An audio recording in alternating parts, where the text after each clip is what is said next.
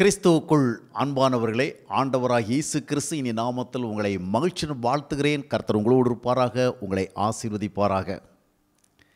வாழ்க்கையில் சில துன்பங்கள் கஷ்டங்கள் சோதனைகள் நெருக்கடிகள் வருகிற பொழுது அழுது ஜெபியுங்கள் கண்ணீருடன் ஜெபியுங்கள் மன்றாடி ஜெபியுங்கள் என்றெல்லாம் நமக்கு நல்ல ஆலோசனை தரப்படுகிறது.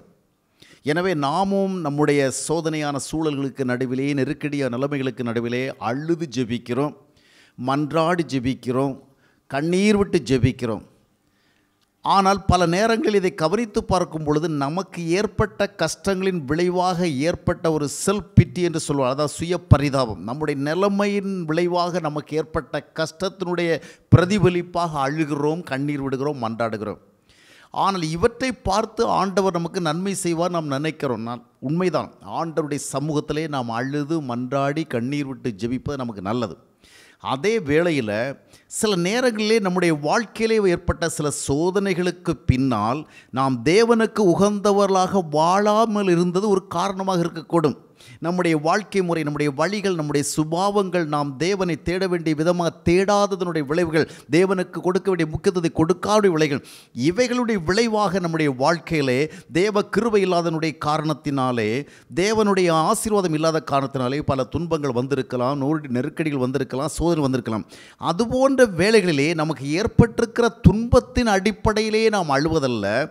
இந்த துன்பங்களுக்கு காரணமாக இருந்த தேவனுக்கு பிரியமற்ற வாழ்ந்த அந்த வாழ்க்கையை தேவன் விரும்புகிறபடி வாழாமல் போன அந்த நிலைமையை நம்முடைய தவறான சுபாவங்களை தவறான வழிகளை தவறான வாழ்க்கை முறைகளை நினைத்து அதற்காக ஆள வேண்டும்.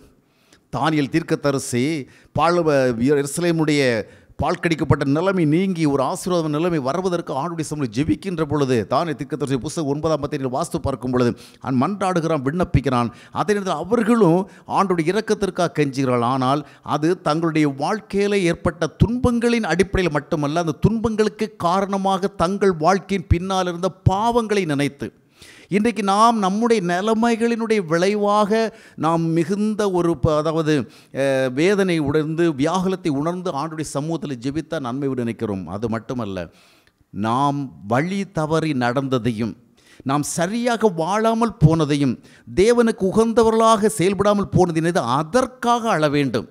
அப்படி அழுகின்ற பொழுதுதான் ஆண்டவர் நம்முடைய வாழ்க்கையிலே பா காரியங்களை பார்த்து நமக்கு நல்லதை செய்வார். சில நேரங்களிலே நமக்கு முன்பாக வந்திருக்கிற சோதனைகளை சந்திப்பதற்கு தேவனுக்கு முன்பாக நாம் தேவனுக்கு ஏற்றவளாக நிற்க வேண்டியது அவசியமாக இருக்கிறது. நம்முடைய வாழ்க்கையிலே நாம் வாழ்கின்ற விதமாக வாழ்ந்து கொண்டு தேவனுடைய இறக்கத்தை பெற முடியாது. துன்பங்கள் தொல்லைகள் பிரச்சனைகள் வருகிற பொழுது நமக்கு மன கஷ்டம் வருகிறது மன அழுத்தம் வருகிறது மனச்சோறு வருகிறது.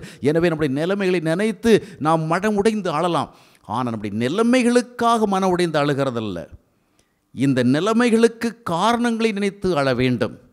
தேவனுக்கு உகந்தவளாக வாழாமல் இருக்கின்றோமே தேவனுக்கு ஏற்ற சுபாவம் இல்லாமல் இருக்கிறோமே தேவனை பிரியப்படுத்தி வாழ்கிற மனநிலை இல்லாதவளாக இருக்கிறோமே அவற்றை நினைத்து அழுகிற பொழுது நாம் தேவனுடைய பார்வையிலே பிரியத்துக்குரியவளாக மாறுகிறோம்.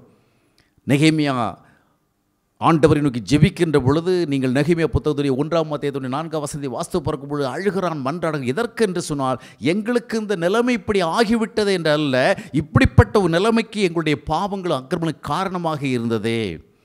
எனவே தேவனுக்கு முன்பாக நாம் சரியாக வாழாமல் போனவைகளை குறித்து நாம் அழ வேண்டும். பெரும்பாலும் நாம் என்ன செய்கிறோம்னு சொன்னால் நமக்கு ஏற்பட்ட கஷ்டங்களை நினைத்து சோதனைகள் கொடுத்த அழுத்தங்களை நினைத்து வாழ்க்கை சூழல் கொடுத்த நெருக்கடிகளை நினைத்து மனம் உடைந்து அழுகிறோம். இது ஒரு இரக்கத்திற்காக நாம் செய்கிற காரியம். ஆனால் தேவனுடைய இரக்கத்தை மட்டுமல்ல அந்த இடத்துல. ஆண்டவருக்கு முன்பாக நாம் எப்படி வாழ்ந்தோம் எப்படி செயல்பட்டோம் எப்படிப்பட்ட வாழ்க்கை முறையுடையவர்களாக உடையவளாக இருந்தோம் என்பதை நாம் சிந்தித்து அவ்விதமாக வாழாமல் போனதற்காக ஆண்டுடைய சமூகத்தில் அழ வேண்டும். அதுதான் அழுகை ஜெபம். இன்றைக்கி அநேகர் இப்பொழுது கூட நமக்கு முன்பாக நெருக்கடியான சூழல் வந்திருக்கிற பொழுது அழுது ஜெபியுங்கள் கண்ணீர் விட்டு ஜெபிங்கள்லாம் சொல்லப்படுகிறது. ஆனால் இந்த நிலைமைக்காக அழுகிறதல்ல. இந்த நிலைமைக்காக கண்ணீர் விடுகிறதல்ல. இந்த நிலைமைக்கு நானும் ஒரு காரணமாக இருந்திருக்கிறேனோ? இல்லை இந்த நிலைமை மாறுவதற்கு ஏற்ற விதமாக நான் சரியாக இல்லையோ? அதை நினைத்து அழ வேண்டும். நம்முடைய பாவங்களுக்கு அக்கிரமங்களுக்கு அழுகிற பொழுது ஆண்டவர் அதை பார்த்து he is very much pleased அங்கே ஆண்டவர் நமக்கு வாழ்வில் திருப்பங்கள் ஏற்படுத்துகிறார். கண்ணீர் துடைக்கப்படுகிறது அழுகி நீக்கப்படுகிறது புலம்பல் அகற்றப்படுகிறது. கர்த்தர்மை ஆசீர்வதிக்கிறார். கர்த்தர்தாமை உங்களையும் அவ்விதமாக ஆசீர்வதிக்கத்தக்கதாக எதற்காக அழ வேண்டும் எப்படி அழ வேண்டும் என்பதை சிந்தித்து அதற்கேற்ப செயல்படுங்கள். கர்த்தர் உங்களை நிச்சயமாக ஆசீர்வதிப்பார். பல்லாயிரங்கள் படித்து பயனடைகின்றனர். நீங்களும் படித்து பயனடையுங்கள். சாம்சன் பால் எழுதிய தினசரி தியான நூல்கள் உங்களுக்காக வாலிபர்களுக்காக சிறு பிள்ளைகளுக்காக தமிழிலும் ஆங்கிலத்திலும் கிடைக்கும். ஒவ்வொரு நாள் சூழ்நிலைகளையும் தேவ வழியில் வெற்றியுடன் சந்திக்க உதவி செய்யும் உயர்ந்த சிந்தனைகள் உங்கள் பிரதிக்கு உடனே தொடர்பு கொள்ளுங்கள்.